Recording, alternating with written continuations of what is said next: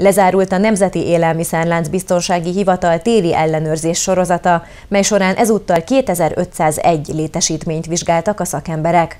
Az egy hónapig tartó akció alatt mintegy 11 ezer hazai és külföldi élelmiszer került górcső alá, és 423 tételt a termékek 3,8%-át kellett kivonni a forgalomból. A szabálytalanságok miatt 49 alkalommal figyelmeztetést, 117 esetben pedig pénzbírságot szabott ki a hatóság, összesen 8,1 millió forint értékben. 2020. december 1-e és 31-e között 13. alkalommal tartott téli szezonális ellenőrzés sorozatot a Nemzeti Élelmiszerlánc Biztonsági Hivatal. Az országos akcióra jelentős hatást gyakorolt a koronavírus járvány terjedése, melyből adódóan fokozott figyelem irányult a higiéniai előírások szigorú betartására. Újdonság volt a pandémia miatt az, hogy kitelepülések, karácsonyi vásárok a tavalyi év decemberében ugye nem voltak.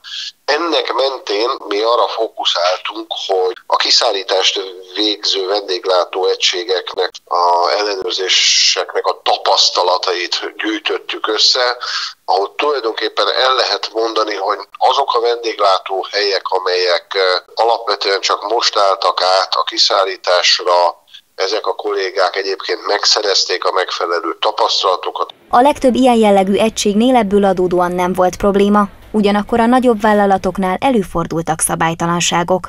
2501 helyen történt az ellenőrzés, ebből 414 élelmiszer előállító helyen, 1441 élelmiszer forgalmazásban, magyarul boltokban, kicsikben, nagyokban, hipermarketekben, és 646 vendéglátó helyen történt ellenőrzés, ebből 295, tehát majdnem a fele a kiszállítást végző vendéglátó helyen.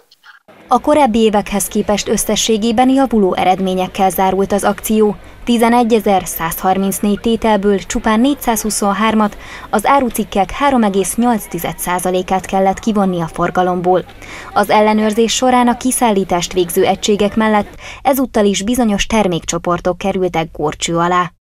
Ilyen például az édesség, vagy a különböző húsok, a húsok szintjén tulajdonképpen minden főtt hús, füstölt hús, nyers hús, pácolt hús, halak, haltermékek, tekintetében, virslik tekintetében, szaloncukor, más édességek, szezonális zöldséggyümölcs területére korlátozódott az ellenőrzés.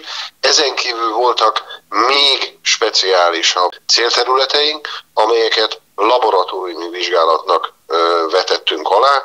Egyedül a dióbéllel kapcsolatos eredmények mutatnak negatív elmozdulást, a laboratóriumi analízisek többsége így jelenleg is tart. A nébik szakemberei egyúttal elkezdenek felkészülni a soron következő, vagyis a tavaszi szezonális ellenőrzésre, hogy a továbbiakban se kerülhessen ismeretlen eredetű, nem biztonságos vagy nem megfelelő minőségű élelmiszer a fogyasztók asztalára.